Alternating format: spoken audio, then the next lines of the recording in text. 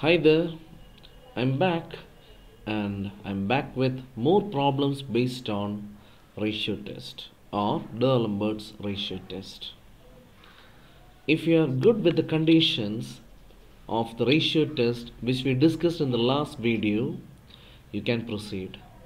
If not, pause the video now and watch the last video where we discuss the conditions of the ratio test. So let's move ahead with the first question. So it's like test for convergence. I think you can see a weird expression here, a really, really, really long expression. And I guess you can see the continued products. Continued product in the sense all these things will come here and all these numbers are going to come here. And all these numbers will be in the next term. So the series keeps on becoming bigger and bigger and bigger and bigger. And in the last video I told you ratio test is really good when we are not able to find the degree. That is we will not be able to use limit comparison test. And ratio test is really good if you have continued products or factorials. And now this is one of the best examples for that. So as always the first thing to do is let's give it a name. Let sigma un be the given series. So let sigma un be the given series. Now I want you to look at the numerator. You can see that it's like 1 into 2 and then it becomes 1 into 2 into 3 and then it's like 1 into 2 into 3 into 4 etc etc etc. So generally the numerator must be 1 into 2 into 3 into 4 into 5 into dot dot dot dot dot up to n. And look at the denominator we have 1 into 3 over here the next one contains 1 into 3 into 5 1 into 3 into 5 into 7 clearly it contains odd numbers. And I already told you the trick. If you have 1 3 5 7 etc if you want you can use the formula for arithmetic progression or just look at the gap between the terms. So I'll write 2 into n and then I test by putting n equal to 1 I get 2 but I want 1 so I hope you're okay with this. Now do you remember the condition in ratio test? It's like limit n tends to infinity u n plus 1 the whole divided by un now listen very carefully the third term contains all the terms from the second term. The fourth term contains all the terms which was in the third term. That means when you write the n plus first term, you'll be forced to write all these things. Let's have a look. So this is our un. You can uh, change the color for you so that it's good. So can you see this part? Okay. That is nothing but un okay now what I did is I changed the last term into n plus 1 and I did the same here but please be very careful. 2n minus 1 I'll put a circle over here and then I'll change it into n plus 1 so I end up with okay I hope you're okay with un and un plus 1 now that's it. What's the final step? Do you still remember? Yeah the limit.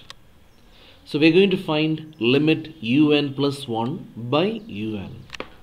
We have our un over here and un plus 1 over here. So just go ahead substitute and we have a lot of things to cancel. The whole thing will get cancelled. The same thing happens here. So the remaining quantities are n plus 1 and 2n plus 1 and I'm 100% sure if you're watching the last few videos you know what to do when n tends to infinity. So tell me what will you do when n tends to infinity? Yeah try to create 1 by n. So look at the numerator. We have n plus 1 so I took n outside. So inside the bracket I will be left with 1 plus 1 by n. Then cancel. And one more question. When n tends to infinity what will be the value of 1 by n? Yeah tends to 0 what about 1 by n square 1 by n cube? All these values will tend to 0 we have cancelled n and n. Now this will vanish so will this quantity so you'll be left with 1 by 2 okay? If you're good with the conditions of ratio test you'll be able to decide whether the given series is convergent or divergent right now. Do you remember the condition? Okay so tell me is 1 by 2 less than 1 or greater than 1 of course less than 1 and if the limit value is less than 1 what is the conclusion? Exactly. Sigma un is convergent. I hope you're working out the problems along with me. Watching the video is good but as a student the best thing to do is take a paper and pen and work out the problems along with me okay so let's move on to the second question. The question goes like this. Test for convergence. 1 plus 1 into 3 by 3 factorial. 1 into 3 into 5 by 5 factorial etc etc etc so in the numerator I'm sure you're able to see continued products. And in the denominator you see factorials course a special case of continued product. Like I said before D'Alembert's ratio test might help us. So tell me how do you start a test for convergence or divergence? What's the first thing to do? So the first thing to do is we have to give it a name. Let sigma un as always let sigma un be the given series and the next thing to do is we have to extract the general term. We have to find the general term. And I want you to try that step by yourself. Pause the video for a minute try to write un and then join me. Okay? Anyway look at the numerator. 1 into 3 and look at the next one. 1 into 3 is here but the next term. Now take a look at the next one. 1 into 3 into 5 is here and the next one. So un will be equal to 1 into 3 into 5 into dot dot dot. Okay, let's go for the trick. What's the trick? Yeah, you find the gap between the terms and write the last one. Anyway, we wrote the same thing in the last question so I'm going to write 2n minus 1 and whole divided by we have 3 factorial 5 factorial 7 factorial. That means there will be 1 factorial here. So again this one. Okay so next task. How will you find un plus 1 it's very easy. You copy the same thing first. You copy the same thing first. And then take a look at the last last quantity. That is 2n minus 1 so please be very careful.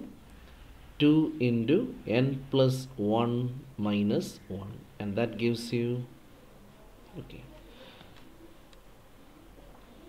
I hope you're okay with this. So now tell me what's the next thing to do? Yeah the limit. So we're going to find the limit.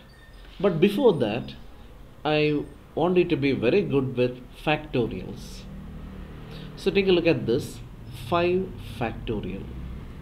5 factorial is 5 into 4 into 3 into 2 into 1 and this part okay that is 4 factorial. And look at another one 9 factorial. 9 factorial is 9 into 8 into 7 into 6 into 5 into okay I want to stop here so I'll write 4 factorial. But if I want I'll write 9 factorial as 9 into 8 into okay I want to stop here so I'll write 7 factorial. So suppose you have n factorial if you want you can write n factorial as n into n minus 1 okay I want to stop with the next one. So I'll stop here. Okay the last one. Suppose we have 2n plus 1 factorial. So I'll write 2n plus 1 can you tell me the number? Just before 2n plus 1 yeah 2n plus 1 minus 1 and that will be 2n maybe I'll stop here. If not I can keep on subtracting 1 1 1 1 till I reach 3 into 2 into 1 and one more last but very important thing. Suppose you have an expression like n factorial by n minus 2 factorial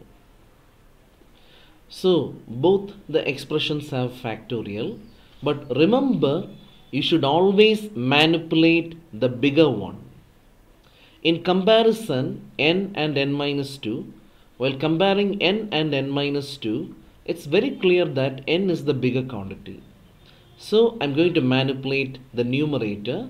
I'm going to write n, n minus 1, n minus 2 factorial, the whole divided by n minus 2 factorial. So this is how we simplify factorials. So let's move ahead.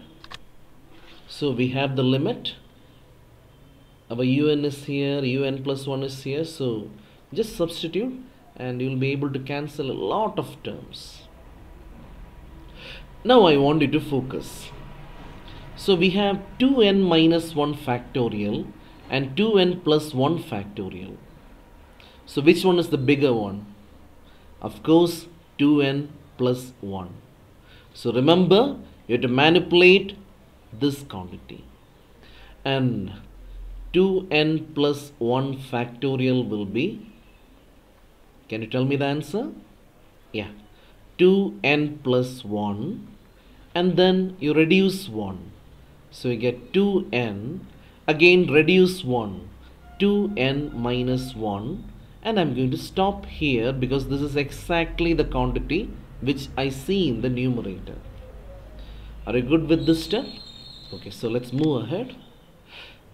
So, see,